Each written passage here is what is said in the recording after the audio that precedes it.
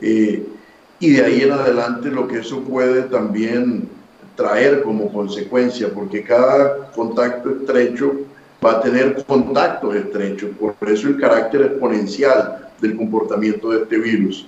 Eh, hoy aún tenemos la posibilidad de, eh, con la caracterización, saber cuántos son, quiénes son y dónde están, pero tememos, como ha pasado en otros países, en otras ciudades, que en la medida que el virus se propague por la irresponsabilidad de muchas personas, le, perdamos el rastro a esto.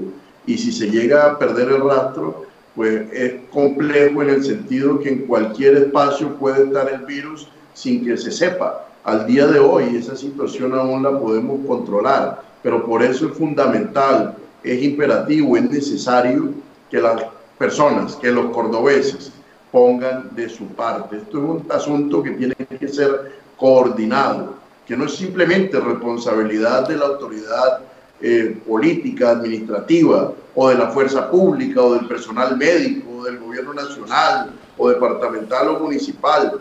Esta es una responsabilidad inherente a cada persona. ¿sí? Uno tiene que, así como hace eh, respetar derechos, también exigimos hoy los deberes como ciudadanos. Y uno de los deberes es ser responsable, tener conciencia, eh, autocuidarse para no poner en peligro a la sociedad.